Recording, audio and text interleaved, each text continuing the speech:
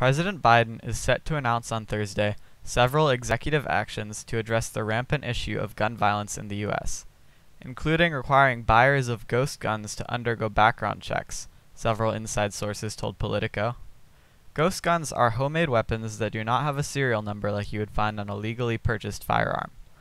Politico reports that it's unclear what additional executive measures might be necessary, but gun control advocates who have spoken with White House officials theorize that Biden could announce a ban on firearm purchases for people convicted of domestic violence against their partners and regulations on concealed assault style firearms.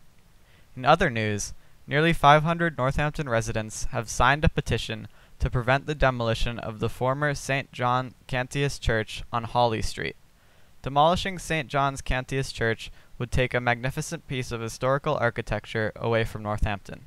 The petition on change.org reads The building's fate may be decided at a Central Business Architecture Committee on Thursday night, when the committee will continue its hearing from February on the possible demolition of the building.